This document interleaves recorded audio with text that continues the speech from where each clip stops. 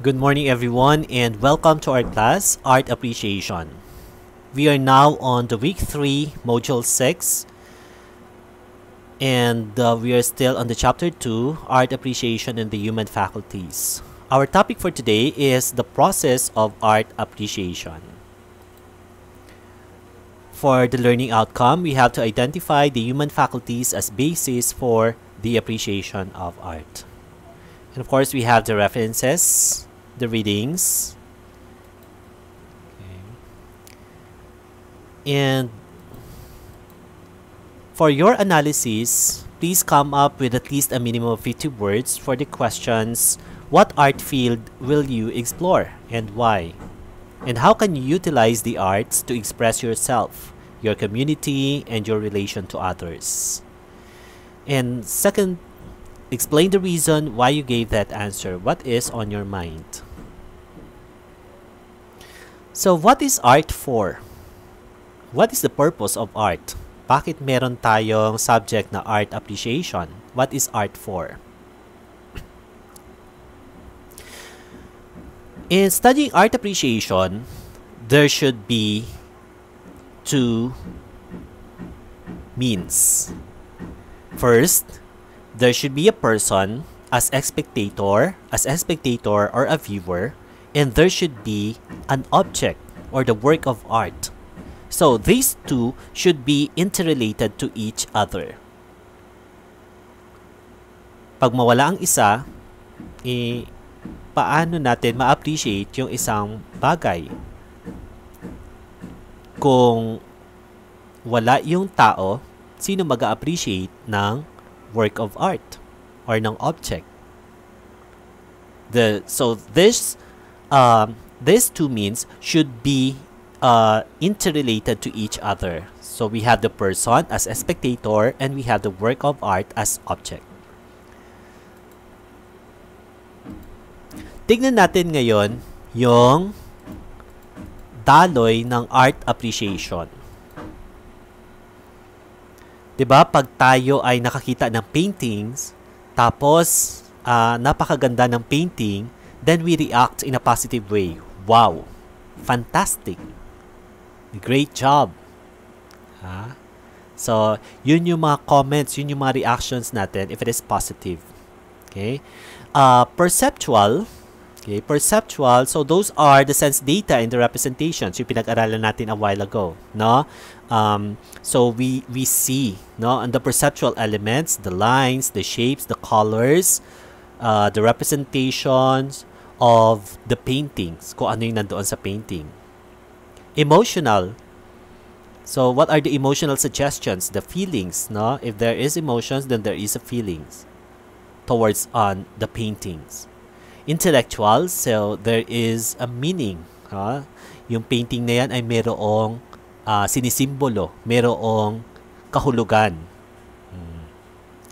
In response to the beauty of artworks. So, response to uh, meaning there is a communication and reaction. No? We respond to.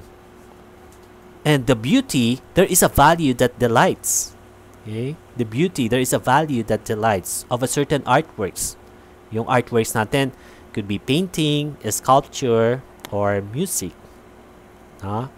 So, ito yung ating ito yung ating flow, no? Kung paano natin ma-appreciate yung isang art. Let's take a look. There is a question here. Which art do you appreciate most? Okay, this is the painting of Mondrian. Okay, the composition of red, yellow, and blue. Okay, so this painting, is this painting a wow or yak? Okay. How about this painting? Uh, the Mona Lisa by Leandro. Uh, what's this? Um, sorry, uh, this is the painting of Leonardo da Vinci by uh, Leonardo da Vinci, and he entitled this painting the Mona Lisa. Okay, is this uh, is this painting wow or yak? How about this one? This is a painting of uh, Duchamp. He he entitled his painting the Fountain or the Urinal. Okay. Is this painting wow or yuck? This is a painting of Malevich. Okay, Malevich, white on white. Okay. But is this painting wow or yuck? Do you appreciate this painting or not? Is this a wow or yuck? How about this painting? This is a painting of uh, Picasso, The Weeping Woman. Okay, he entitled this painting The Weeping Woman. But is this painting wow or yuck? Okay, just answer it by yourself. So, which captivates you most? So, among all these paintings, which captivates you most? Is it a painting of uh, the Mondrian, the composition of red, yellow, and blue? Or is it the painting of Leonardo da Vinci, the Mona Lisa? Or Malevich, the white on white, the Suprematism? Or is it the painting of Duchamp, the urinal or the fountain? Or is it the painting of Picasso, the weeping woman? So which captivates you most? Okay, saan dyan yung nagugustuhan mo?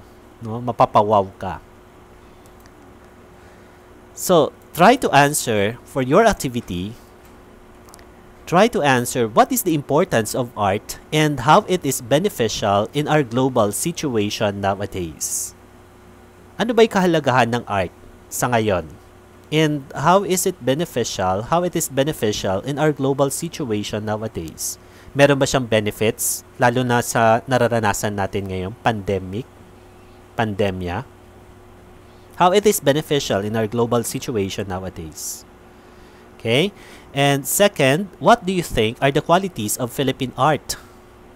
In your opinion, what makes Philippine art Filipino? So please come up at least a minimum of 50 words.